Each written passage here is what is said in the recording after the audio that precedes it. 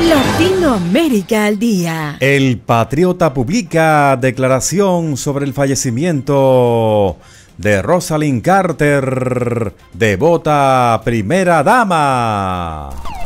Fiscal Alvin Bragg acusado de hecho negativo desenfrenado en New York. Maga pide que Liz Cheney sea puesta tras las rejas, culpable por hechos negativos en el Comité J6.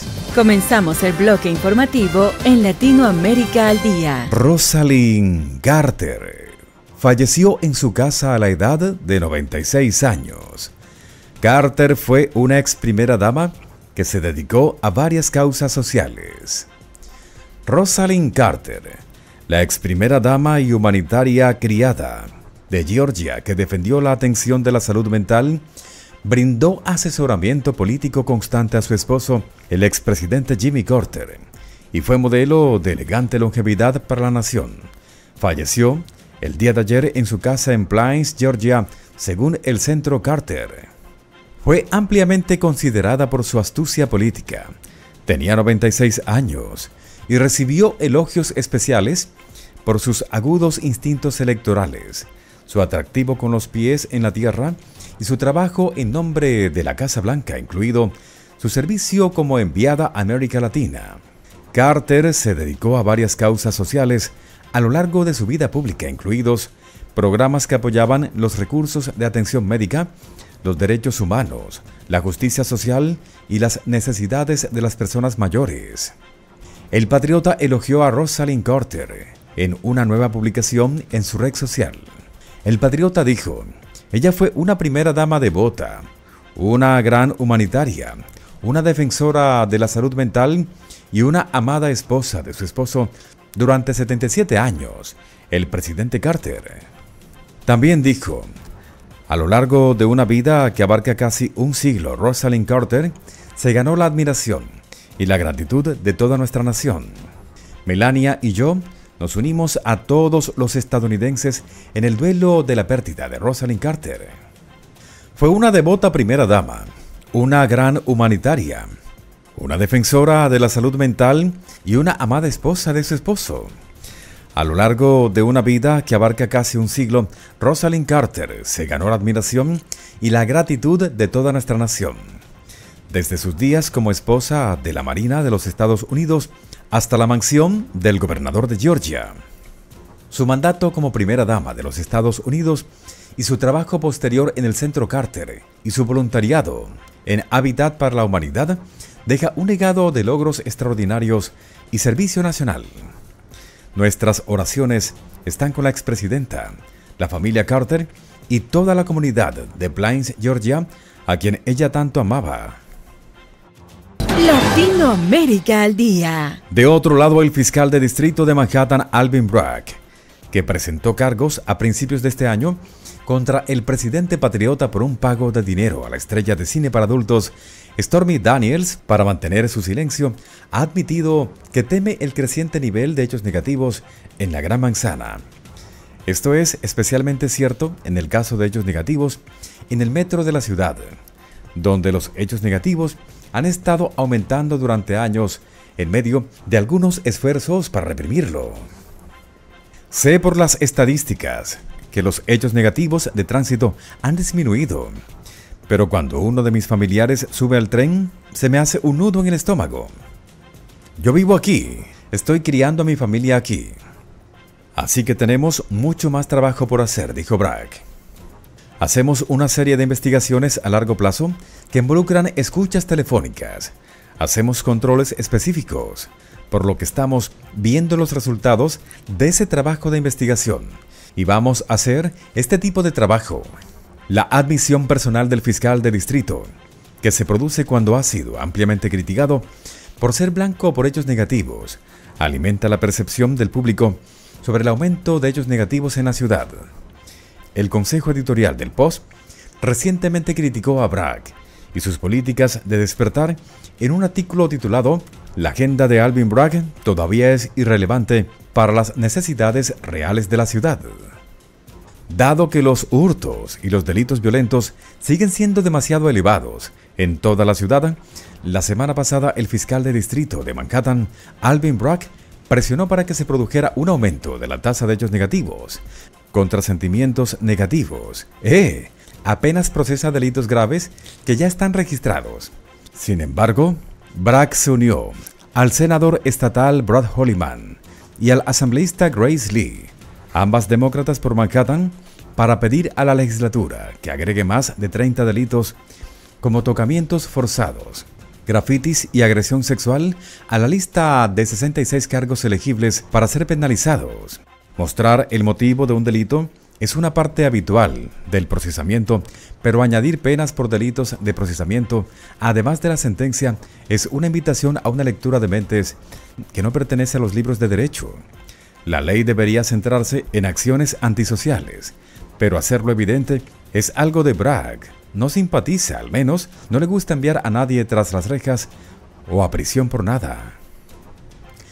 A partir de su vergonzoso memorando del día 1 a su oficina, Bragg ha enfatizado una agenda de descarcelación que trata el procesamiento como un gran riesgo para la sociedad, junto con las reformas de justicia penal estatal que impulsan el mismo enfoque equivocado. Eso ha producido un fuerte aumento de hechos negativos, así como un récord de robos en tiendas que ha obligado a muchos minoristas a cerrar y ha dejado al resto encerrando a la mayoría de sus estantes, incluso la pasta de dientes.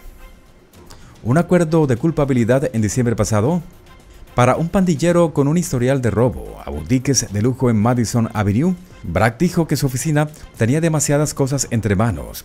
La semana pasada, los fiscales de Manhattan pidieron a un juez que rechazara la petición del patriota de retirar los cargos penales relacionados con un pago de dinero para mantener su silencio. Dijeron que el patriota intentaba evadir su responsabilidad abusando de su poder político. Cuando los fiscales investigaron el caso del dinero para mantener su silencio este año, dijeron que obtuvieron nueva información de expertos de la campaña que respalda su afirmación de que el patriota pagó dinero para mantener su silencio a la estrella de cine para adultos Stormy Daniels y luego lo encubrió. Por muchas razones, el patriota pidió que se desestimara la acusación el mes pasado. Uno de ellos fue que se presentó seis años después del presunto encubrimiento, en un intento de alterar las elecciones presidenciales del 2024. La Fiscalía de Distrito de New York pidió al juez Juan Merchan ignorar el argumento y seguir la ley por igual. En marzo, el patriota fue acusado de cambiar registros comerciales para cometer u ocultar otro delito. Los fiscales dicen que esto era parte de un plan para no mostrar los pagos del patriota que le hizo a Michael Cohen para reembolsarlo por pagarle a Stormy Daniels dinero para que guardara silencio para evitar que ella hablara sobre una aventura que tuvo con el patriota antes de los comicios del 2016. El patriota ha dicho que no es culpable de los 34 cargos y negó haber tenido una aventura. Latinoamérica al día. De otro lado, los partidarios del presidente patriota piden que la ex representante estadounidense Liz Cheney sea puesta tras las rejas por Trice y On por su trabajo en el comité de la Cámara, que investigó los eventos del 6 de enero del 2021 en el Capitolio de Estados Unidos. Cheney fue vicepresidente del panel que concluyó en diciembre del año pasado que el patriota había participado en una conspi de múltiples partes para anular los resultados legales de las elecciones del 2020 y no tomó medidas para impedir que sus partidarios atacaran al Capitolio. La republicana de Wyoming perdió su tercer puesto de liderazgo republicano en la Cámara después de votar para acusar al patriota a raíz de los eventos y luego no dar marcha atrás en sus críticas al patriota. Fue reemplazada por Harry Hitman, una republicana respaldada por el patriota que la derrotó en las primarias del año pasado. Los aliados del patriota ahora están lanzando nuevos ataques contra Cheney, quien ahora es profesor en la Universidad de Virginia, después de que el presidente de la Cámara de Representantes, Mike Johnson, dijera que publicara miles de horas de las imágenes de los hechos en el Capitolio. Los partidarios del Patriota, que lidera la carrera por la nominación presidencial republicana del 2024, creen que el archivo completo de las imágenes de seguridad forzará su narrativa de que el 6 de enero no fue un asalto violento al Capitolio por parte de los participantes del Patriota. Algunos conservadores han utilizado fragmentos cortos del lote inicial de imágenes que suman alrededor de 90 horas para afirmar que los alborotadores habían actuado pacíficamente y que el comité selecto había ignorado las pruebas.